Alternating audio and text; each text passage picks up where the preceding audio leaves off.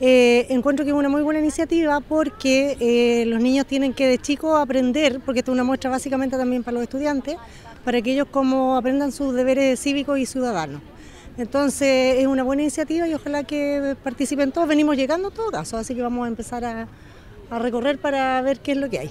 Entonces, ¿usted considera que es necesario esta práctica para que los niños desde muy pequeños aprendan a vivir en comunidad? Es que es importante, de hecho tienen que aprender desde chicos a vivir en comunidad porque así aprenden a relacionarse de mejor forma con los otros, a tener, a desarrollar algunas habilidades en cuanto a su personalidad, valores, y es muy importante para su crecimiento y su desarrollo personal, tanto personal como eh, a futuro eh, profesional.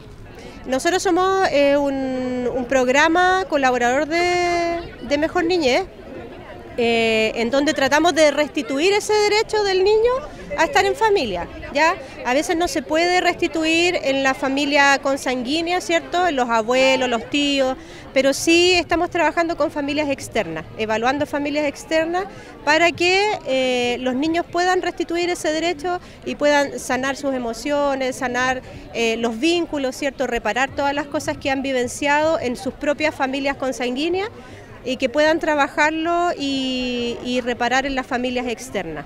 Nosotros teníamos esa impresión de que el gobierno estaba impulsando mucho este derecho, pero usted como parte de su institución, ¿lo ha visto que es así o ha sido así siempre? Lo que pasa es que ese derecho es parte de la Convención de los Derechos de, los Niños, ¿cierto? Eh, y que lógicamente el gobierno tiene que, impulsarlo. Ahora, lo que falta son recursos.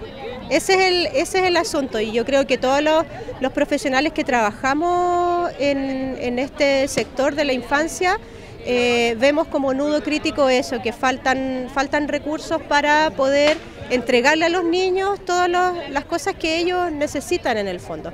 Quizás más programas reparatorios, eh, más oportunidades en, distintos, en distintos casos, ¿cierto? En distintas cosas.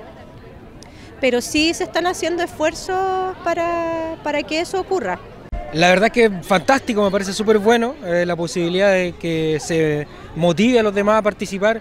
Em, fomenta, por cierto, la participación de, la, de las familias y el derecho que tienen los niños a, crecer en un ambiente protector, sano y seguro. Así que que se hagan todas estas actividades me parece súper, súper bueno. Bueno, es fundamental que em, em, las familias tengan acceso a distintas instancias de esparcimiento, de compartir de congregar y de participar. La participación es fundamental en los niños, en las niñas, los adolescentes, los padres, los abuelos, en la familia en general. Entonces, instancias como esta feria permite que, se, que los servicios públicos pongan a disposición todo el servicio que el aparataje estatal permita visualizar a través, ¿por qué no?, de este mismo stand que está aquí atrás, que es de los derechos humanos del Instituto Nacional de Derechos Humanos. Entonces, ¿considera usted que es importante promoverlo y es importante que se reconozca como un derecho básico de la infancia el acceso a la familia? Totalmente, un derecho eh, fundamental que tienen los niños, las niñas, eh, independientemente de la conformación que tenga eh, la familia. Lo importante, insisto, es poner por sobre la mesa la participación familiar como lo es en esta feria el día de hoy.